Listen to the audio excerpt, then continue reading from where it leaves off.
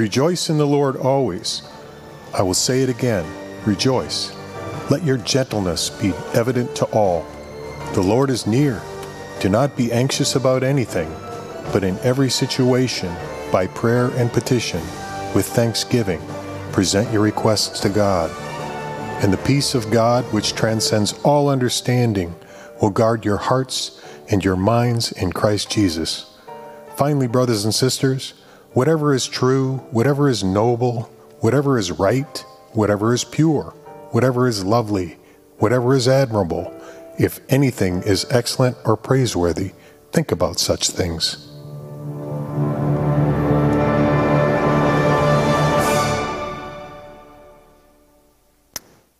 Amen. That had a dramatic closing, didn't it? Um, let's pray. Lord Jesus, we lift up this message, I lift up this worship, and I pray that it is acceptable and pleasing in your sight, O oh Lord.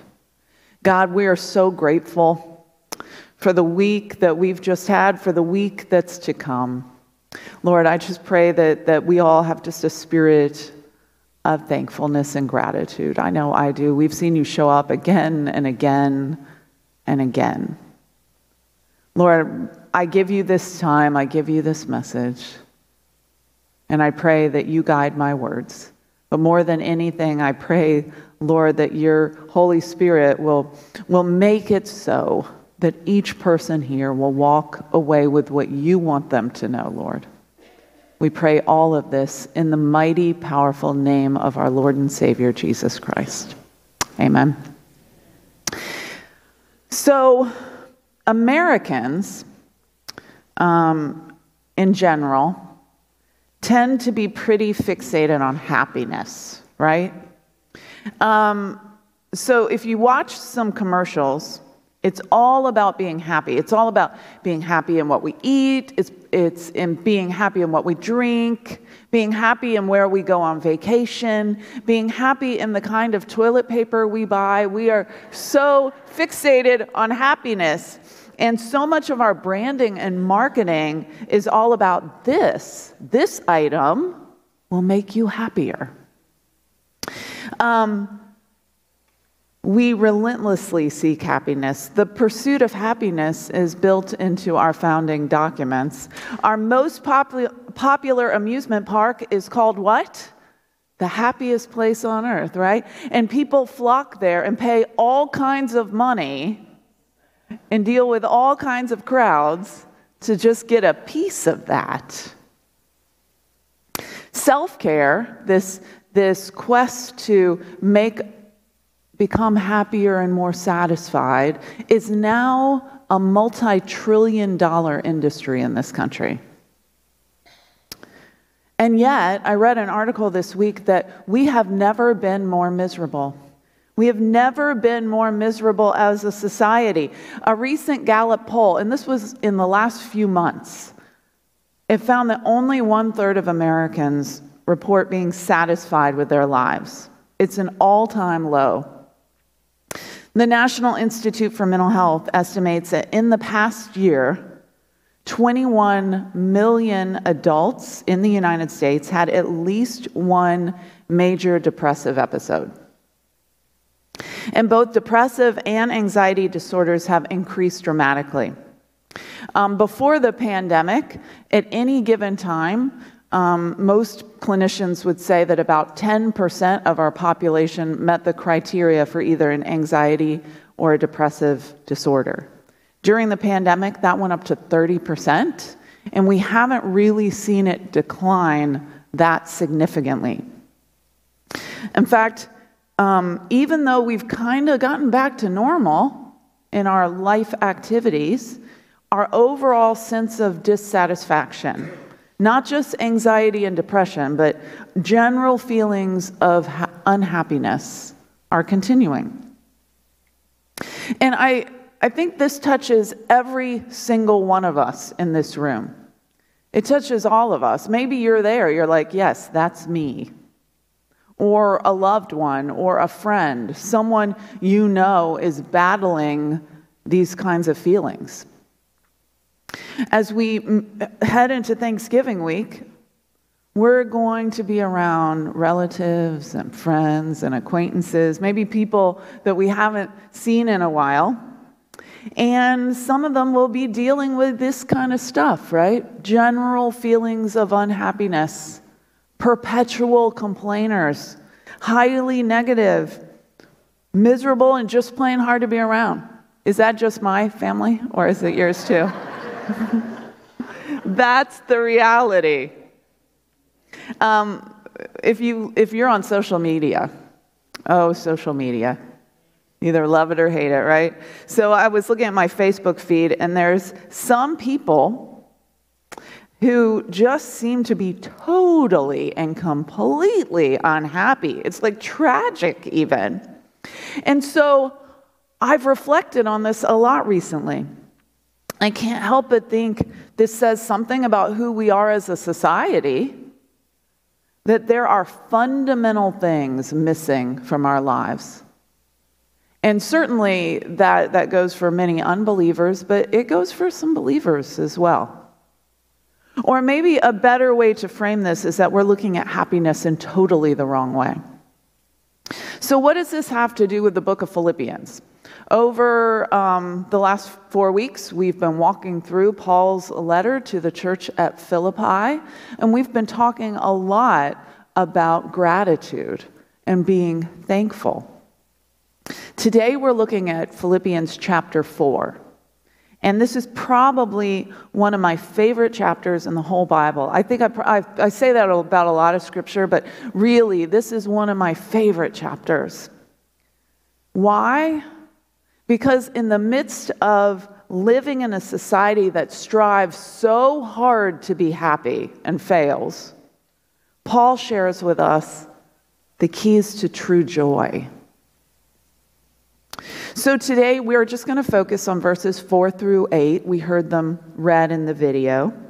But I would encourage you when you go home today to read through all of chapter 4. It's not that long because it is just such a beautiful end to Paul's letter to the brothers and sisters of in the church in Philippi, these people he loves so, so much. So be sure to read through all of chapter 4. Because we're going to start with verse 4. And this is a very familiar verse to all of us. Pastor Roberto has already um, quoted it several times today. Paul says this Rejoice in the Lord always. I will say it again, rejoice. Say that out loud. Rejoice in the Lord always. I will say it again, rejoice. Have joy in God. Be joyful in the Lord always. And what's interesting to me about this letter, it's four very short chapters. And in those four short chapters, Paul uses the some form of the word rejoice or joy or be joyful, some form of that at least 14 times. And the reason I say at least 14 times is something I read said 14, another thing said 16. I didn't go through and count them. You can if you'd like. You can let me know. But regardless, Paul is very serious about joy. He is very, very serious about joy. And he's not at some, you know, swanky resort somewhere drinking fine wine and eating steak. He's sitting in a Roman prison cell. I know we've mentioned this um, over the last few weeks, but I want to, I really want to focus on this. Paul is sitting in a Roman prison cell writing this letter, and he's saying, Rejoice in the Lord always. I will say it again, rejoice. So I totally got off on a tangent this week in writing my message and did all this research on Roman prisons in the first century in Palestine. And surprisingly, there is a lot of information out, out there. Um, what would this have been like for Paul? Roman prison cells were designed to strip a prisoner of dignity. So they were dark, they were dank, they were filthy, they had poor ventilation, which generally means they smelled really bad. And um, They were often overcrowded. So, unlike today, there was no such thing as being condemned to serve a sentence in prison. Although people would spend quite a bit of time in prison, their time there was just a waiting game. They were awaiting trial to be given their real punishment, which could very well be death. So, Paul, at the time that he is writing this letter, this was one of his last letters, if not his very last, he's probably been in prison for about four years. He has no idea what's going to become of him. He has no idea what's going to happen. Now, we know from reading the book of Acts that he has been charged with inciting riots among the Jews. So, inciting riots among the Jewish communities. And he is simply in prison waiting to hear whether or not he would be put to death. And he says, Rejoice in the Lord always. I will say it again rejoice. Rejoice in the Lord always. So um, I did this thing. I looked up the word always in ancient Greek. And you know what it means? Always. All the time. Always. So when are we to rejoice in God? Well, always. You mean we don't just rejoice when things are re- going really well and we're feeling really good and our marriage is happy and our bank account is full and we're on vacation and the kids are well behaved? No. We rejoice what? Always. That's right. It's when things aren't going well. It's when we don't feel very good. It's when our marriage is on the brink of collapse and our bank account is empty. It's when you're stuck in traffic on State Route 60 and you're not sure you're ever going to be able to get home. It's when your kids are and your grandkids are really struggling. It's even when you're sitting in a Roman prison cell. Rejoice, rejoice, rejoice. And that, my friends, makes no sense. It makes no sense according to the world. What makes sense to the world? Happiness, right? Seeking happiness, we already talked about that. Happiness is based on your happenings. And when your happenings, your circumstances are going really well, when you feel really good and things are going your way and you're engaging in pleasurable things, then you are happy. But joy is something else entirely. And in the English language, I think we, we too often we interchange those words, happiness and joy. They are not the same. Our world doesn't really understand joy. Because joy is not a feeling, joy is not an emotion, joy is not positive thinking, joy is not self help. Joy is not dependent on our circumstances or whether things are going our way. Joy is a fruit of the Holy Spirit. Joy is the manifestation of God in the midst of any circumstance, any circumstance. It's an orientation that all of life is a gift. Every single day is a gift from God. That's joy. And joy isn't really of this world, joy is a supernatural thing an inner contentment of the soul that is actively responding to Jesus Christ. It's an inner conviction that while things are not right, everything will be all right. It's not of this world, and that's why the world doesn't understand it. To rejoice always means to declare the presence of God in your circumstances, no matter how hard or painful they may be. I'm going to, you can see that on the screen. I'm going to repeat that. To rejoice always, as Paul is telling us, means to declare the presence of God in your circumstances, no matter how hard or painful they may be. And this is so hard. It's even hard to say this, to get these words out of my mouth. But what that means is that there is no circumstance that eludes joy. That includes death. That includes financial crisis. That includes physical illness. It includes mental illness. It includes broken relationships. Rejoicing in God in these situations means that we declare, we proclaim that God is there with us. We are not alone. And it doesn't mean, I want to be very clear here, it doesn't mean we're going to be free from pain or grief. Those are human emotions. And all of us in here, I believe, are humans. So you're going to experience human emotions.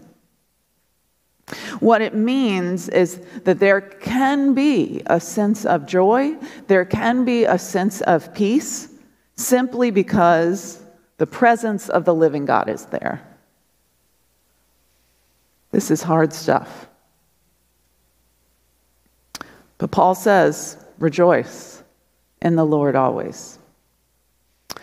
Verses 5 through 7, he continues. He says, Let your gentleness be evident to all. The Lord is near. Do not be anxious about what? Anything.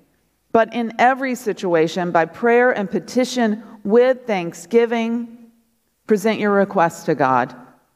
And the peace of God, which transcends all understanding, will guard your hearts and your minds in Jesus Christ. So, oftentimes, when, when something really bad happens, our go to human reaction is anxiety. At least it is for me. Um, even if something is just like kind of bad. Not even like a huge tragedy, just even something a little annoying. And, and oftentimes our go to reaction is anxiety. I think about, you know, all you guys know that I have a 19 year old daughter who's at Auburn University, and she calls me with her crisis of the day. And it becomes my crisis of the day.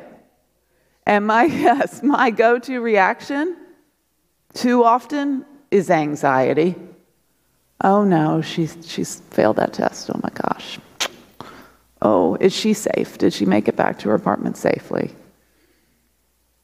And so my reaction is anxiety.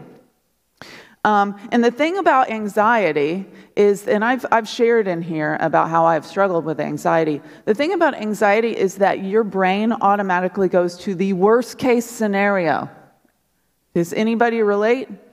You know, so yeah, like it's not logical. It doesn't make sense, but you automatically assume the very worst is going to happen. Oh, so Rosie didn't call me and she said she was going to call me. So that must mean that she got in a car accident or she's in a ditch somewhere or she was kidnapped. And I will stay up all night long thinking about that. You jump to the worst case scenario. And of course, the root of anxiety is fear, right? That's the root of anxiety. We're so fearful that something bad is going to happen. So I read this several years ago. This is um, when the pandemic had just started. Uh, J.D. Walt, who writes the, the daily text for, for Seedbed, he was walking through the book of Philippians. And he, he wrote these two statements. And I kind of adjusted them, made them more my own, but um, they've stayed with me for over two years now. So they're on the screen. He said, The remedy for anxiety is peace. So I want you to really think about that. The remedy for anxiety is peace. And the way to peace is gentleness. The way to peace is gentleness. So, what does that mean? You know, start with this idea of gentleness because so Paul says, "Let your gentleness be evident to all, for the Lord is near." So gentleness, that sounds kind of odd, right? You know, I immediately, when I think of gentleness, I think of what we say to our, our kids. Um, we say, be gentle, use gentle touch, which basically means don't hit that other person or don't stick your finger in the dog's eye. You know, be gentle. And, and really, the meaning of gentleness isn't too far off from that. Um, gentleness means not causing harm being gracious, being humble, being meek, not looking out for your own needs, but, but really just for the needs of others, seeking to be like Jesus. Gentleness is seeking to be like Jesus. Gentleness is the temperament of someone who knows that the Lord is near. So if someone knows that the Lord is near, they're not going to lash out in anger. If someone knows, just knows consciously that the Lord is near, they're not going to be rough, be violent. Gentleness is the temperament of someone who knows that the Lord is near. So when something really horrible happens, when we're in the midst of despair, but we know that the Lord is near, then it creates space in our lives to have a different reaction than anxiety. And this is hard. I'll, I'll be honest. This is really hard for me. Rather than constant worry and anxious thoughts, we can move to prayer and petition. This is basically what Paul is saying. He's let your gentleness be evident to all, the Lord is near. When you know the Lord is near, then you don't have to be anxious about anything. Because in every situation, by prayer and petition with thanksgiving, you present your request to God. So,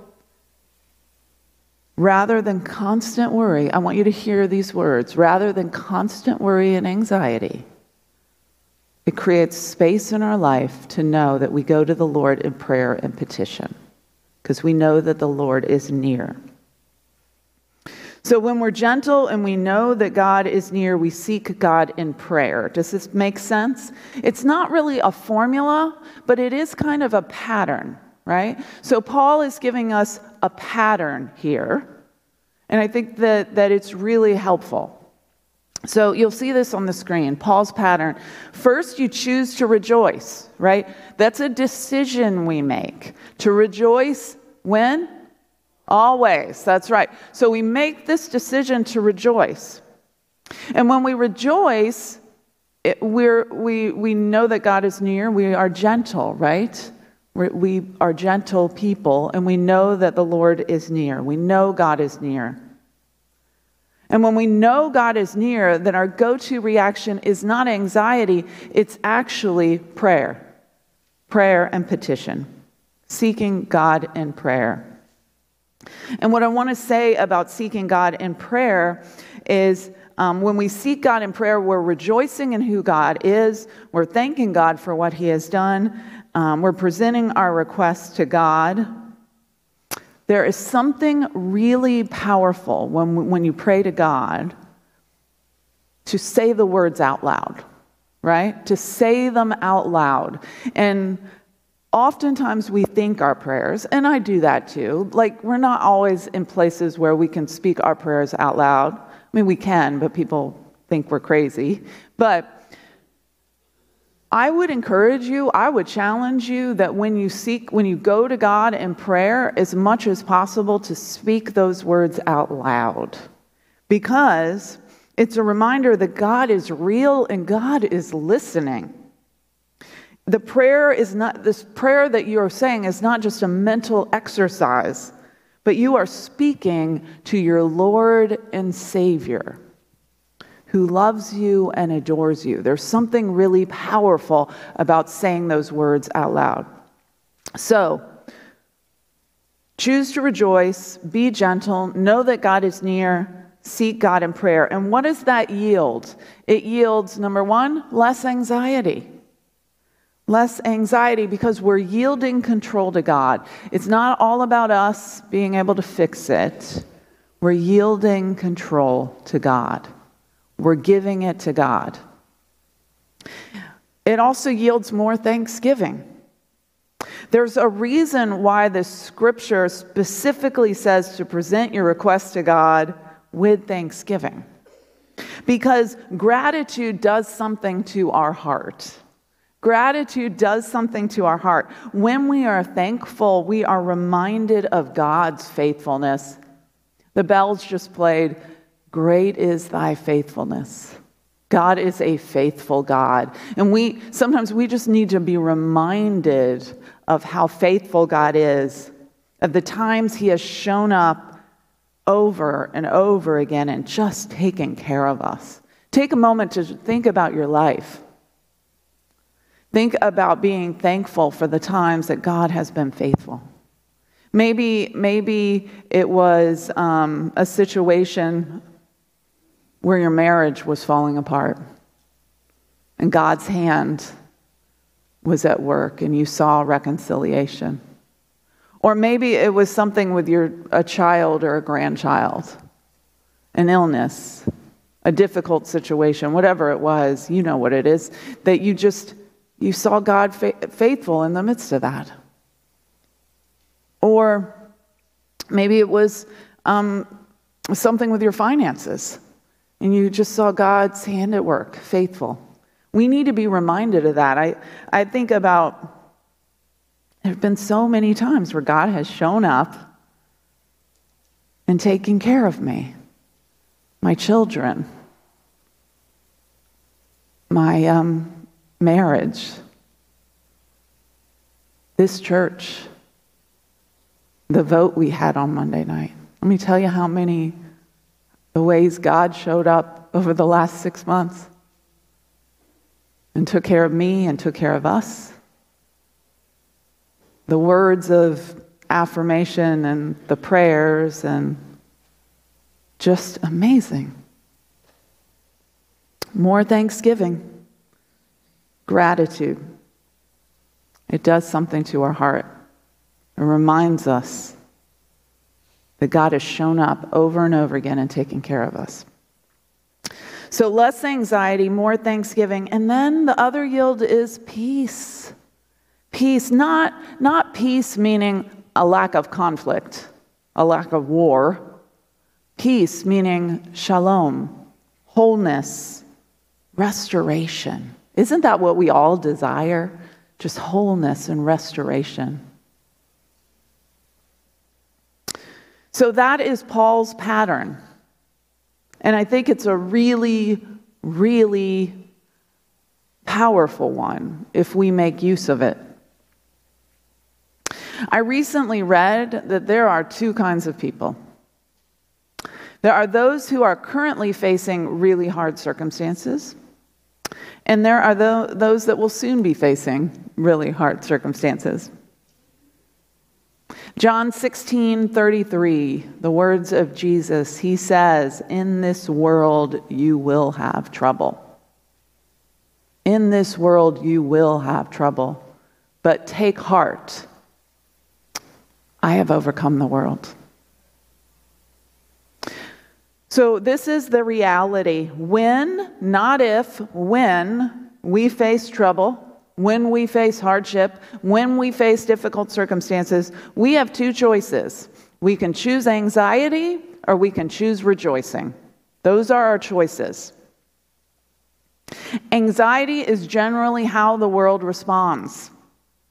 That's why we're so dang unhappy, because we choose anxiety. It's the world's go to response. It leads to more distress. It leads to more seeking escape and things like food and alcohol and drugs and sex and shopping and anything else that will bring pleasure, even if it's just for a moment.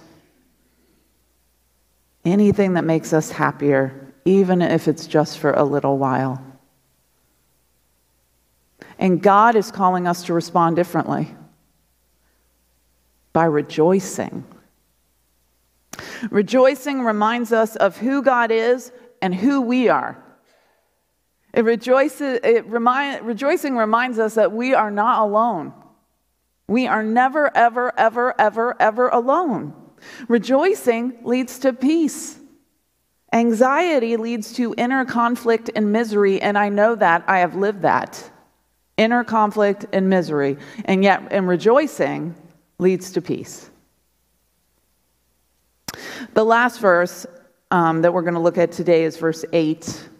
And it says this Finally, brothers and sisters, whatever is true, whatever is noble, whatever is right, whatever is pure, whatever is lovely, whatever is admirable, if anything is excellent or praiseworthy, think about such things. I would encourage you to memorize this verse. Memorize this verse. This is about changing our thought life. And it's a method or strategy, if you will, for dealing with worry and anxiety. So often we get like in this loop of worries, of the bad things, or just, it's like a tape we play in our head over and over and over and over again. Well, what if this happens?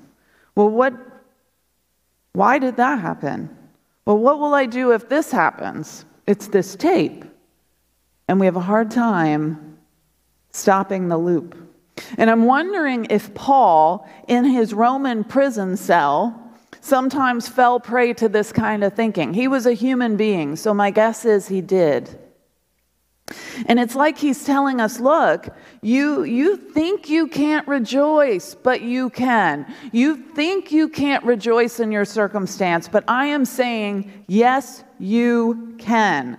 Stop thinking about all the really bad stuff and start thinking about that which is true, which is noble, which is right, which is pure, which is lovely, which is admirable, which is excellent, which is worthy of praise.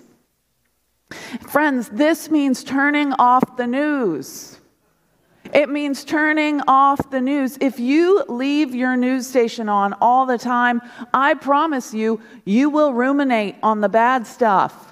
There is, it's absolutely impossible to not do so. Now, we need to know what's going on in our world, but we don't need to constantly have that negativity just like filling us. It affects you. It affects you. You might not think it affects you, but I'm telling you, it does affect you. It means turning off Facebook. A little bit of Facebook sometimes can be okay. You got to know when to close the laptop, got to know when to take a break. It means removing the external sources of negativity from your life as much as you can. Focus on that which is worthy of praise. Focus on that which is worthy of what? Praise. So, what things in your life are worthy of praise? I'm looking around and I know all of you have things in your life that are worthy of praise. Like, I think about, I have so many things in my life that are worthy of praise. I have this congregation. You are worthy of praise. You bring me joy. I think about this church. I think about my family. I think about my children. I think about my dogs, they're worthy of praise. Think about, I have dear friends, they're worthy of praise. I, I think about the fact we live in Florida and I can be outside so much. That's worthy of praise. I was sitting on my sofa last night and the doors were open and, and I was hearing the wind chimes and I was thinking, that's worthy of praise. It brings me joy. There are so many things that are, are worthy of praise. Why do we focus on the negative. So when you get stuck in a negative thought loop, using this verse is an exercise into in turning anxiety into joy. And I know this because when I was at my deepest one of, one of the, the, the times of my life where I was dealing with anxiety, probably in the most severe way, this verse saved me. I mean, God saved me. But this verse made all the difference. Because I would be driving in my car and I would feel overcome with a sense of panic, and, and I'd be like, focus on that which is excellent and praiseworthy. Focus on that which is admirable and pure. And I would just go through in my head and start thinking about all the things that are wor- worthy of praise, and those negative thoughts, God takes them away from you. It's, a, it's amazing. It's a miracle. This is God's word, and it's living and it's breathing. So, what if for this Thanksgiving week, what if we did, you did something a little different? You made a commitment to focus on two things. First, choosing rejoicing over anxiety. So, you're going to make a conscious decision to choose rejoicing over anxiety. And the second one would be choosing to focus on things that are worthy of praise. Now, these are words that are very easy to say, and it's a lot harder to live out. I know that. But think about what your week would be like if you committed to those two things. How might your Thanksgiving week be different? Friends, Jesus came to give us life and to give it to us abundantly. Say the word abundantly. Abundantly. He didn't want us to just simply exist. He wanted us to, to thrive, to have joy, to rejoice in, in how many circumstances? All. Rejoice always. To experience shalom, to bring him glory. Don't settle for less. Don't settle for less. No matter what you are dealing with, no matter what you are going through, God is with you. I want you to hear those words God is with you. As believers in Jesus, we are tasked with demonstrating to the world, this very unhappy world, we are tasked in demonstrating that there is a different way of doing life in which you can experience joy and you can experience hope and you can experience peace even in the darkest times. We are to be light in the darkness because God has called us out of darkness into his marvelous, beautiful light. Amen. We are broken and this world is filled with trouble but we belong to the one who overcame it all. Let's pray. Lord Jesus, we rejoice in you. We rejoice in you. Lord, I just I pray for all of these good people here. And I pray, Lord, that, that we can commit to choosing rejoicing that we can commit to joy over anxiety. We can commit to focusing on things that are worthy of your praise, that we can truly be light in the darkness.